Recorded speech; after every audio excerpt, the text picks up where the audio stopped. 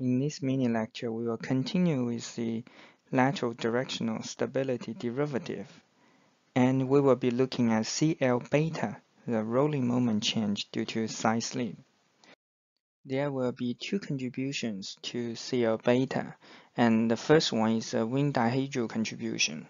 Now let's see how can we um, derive the wing contribution to the CL beta. Okay, so now what we see is an aircraft. We've seen this aircraft several times, and it's a top view of it. And so it's flying straight upwards, and relatively, and uh, the wind is blowing towards the aircraft with a speed v, which is a true air speed. Now what happens is uh, there will be a side slip, side slip velocity Okay, so then in total, there will be a wind relatively blowing from the right side of the aircraft nose, and which uh, is the corresponds to the um, positive side slip, and the side slip angle is beta, is all indicated. Okay, and since we're looking at the wing dihedral, in the top view we won't see that, so we need to have the rear view. In this way we can see the dihedral angle, gamma, and it's notified the uh, capital gamma. Okay, so now we have the side velocity, positive side velocity, and we can decompose this small v side velocity into two components. One component is parallel to the wing, the other is vertical to the wing.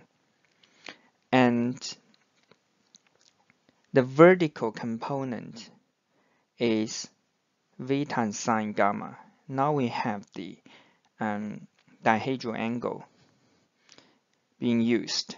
Okay, and now I would like you to look at this small section, dy incremental section.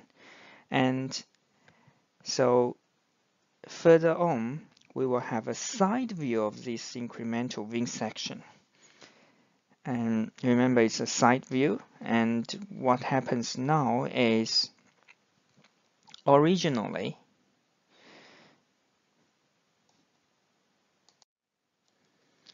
So originally we have this uh, horizontal velocity v because of the wing dihedral angle and there is a small vertical component.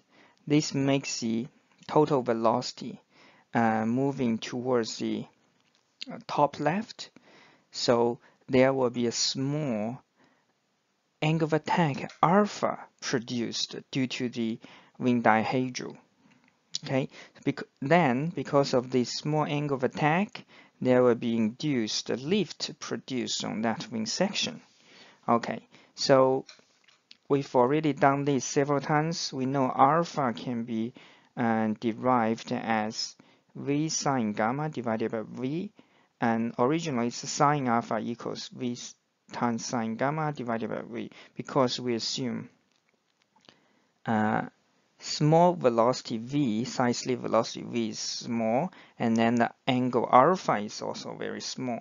Then we can just uh, assume alpha equals v times sine gamma divided by v. And usually we uh, the wing dihedral angle is also small, so sine gamma is roughly gamma. So we have alpha equals v times gamma divided by big V. Okay, so then we can have the induced lift. So the lift in that incremental section, we have A times alpha times half rho v square c times dy.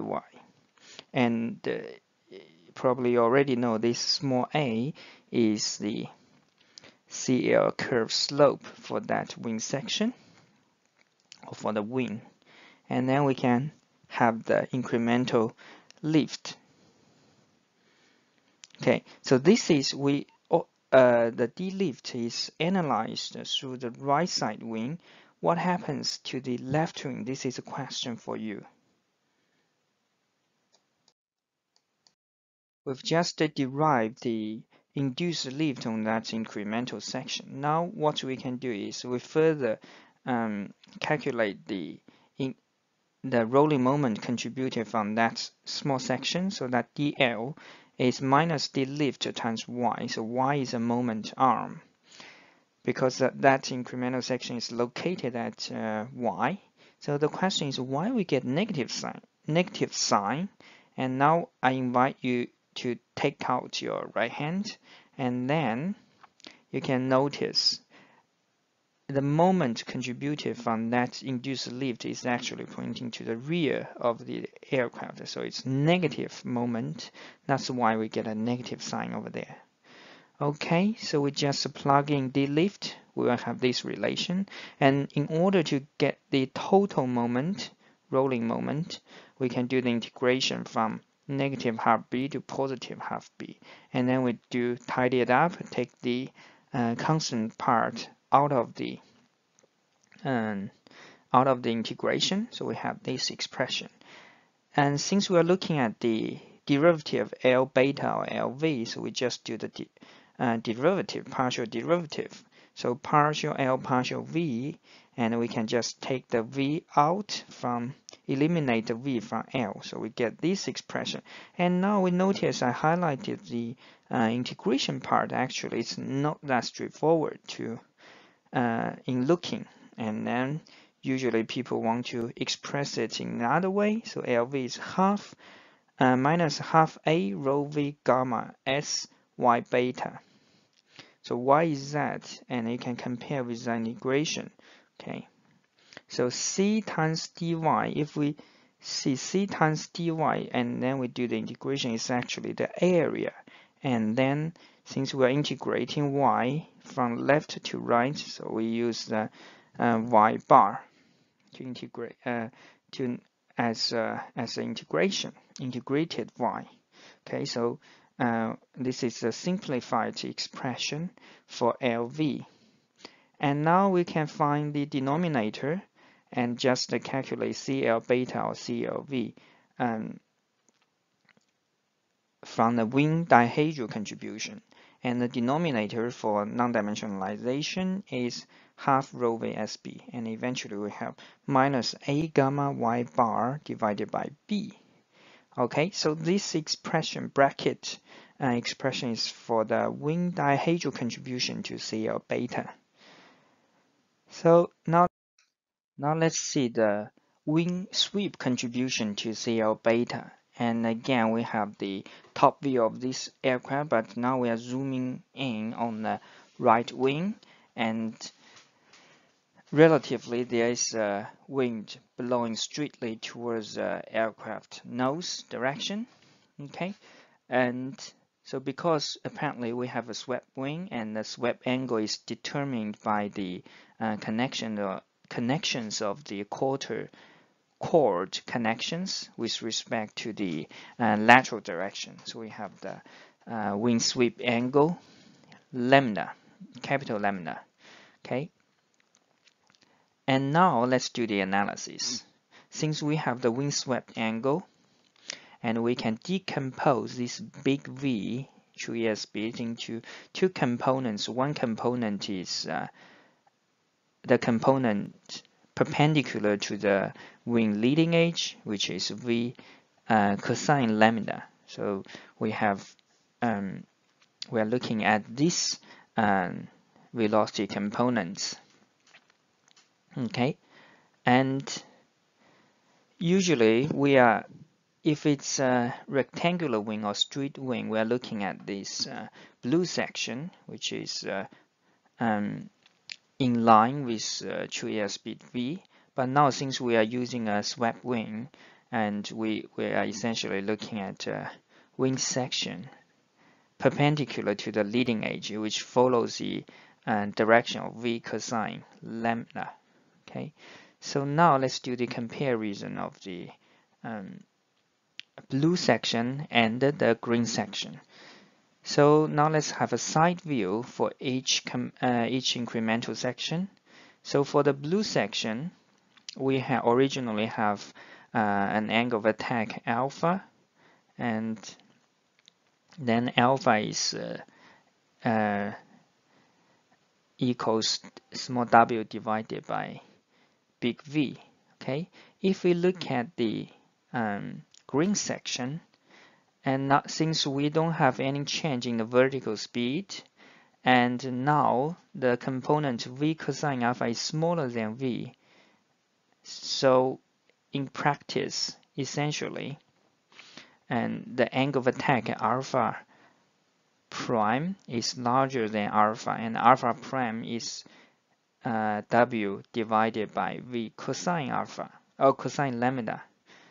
Okay, so alpha prime eventually becomes alpha divided by cosine lambda. So it's larger than the uh, original angle of attack. So which means there will be induced lift. The lift becomes larger to the only um, green incremental section. Okay, so this is uh, induced the lift on the green section.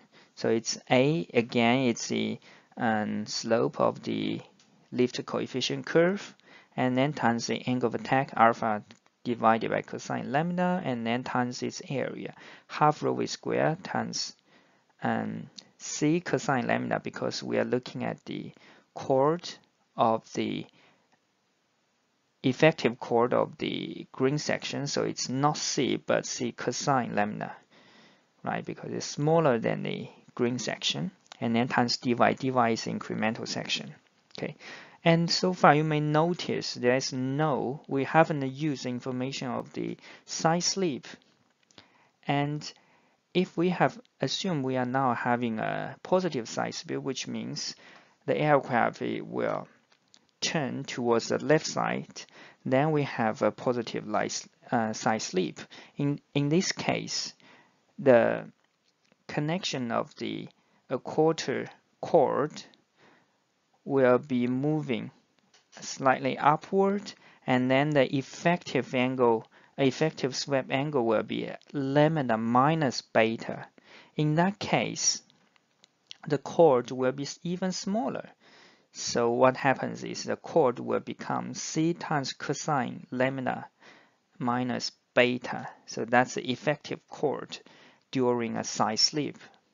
Okay, so it's this d lift prime essentially under the effect of the positive side slip. And so we have the lift, it's pointing out of the screen, and then we can do the calculate the the, the rolling moment. Okay, so dl is the uh, incremental rolling moment. Again, we have a negative sign before uh, the multiplication. The lift uh, prime times y because again, if we use our right hand side, right side, right hand, and it will be a negative rolling moment. And uh, we just plug in the d lift prime, and then we get this num uh, this expression. Okay, so now, so we've derived the contribution, rolling moment contribution from that incremental section. And it's a bit math, the following steps will be a bit mathematical. And now, what we do is we're looking at cosine lambda uh, minus beta, and we just expand it. Um, because again, we are using, assume beta is a small angle, small angle assumption and then sine beta is roughly beta and the cosine beta is 1 so eventually cosine lambda minus beta equals cosine lambda plus beta sine lambda.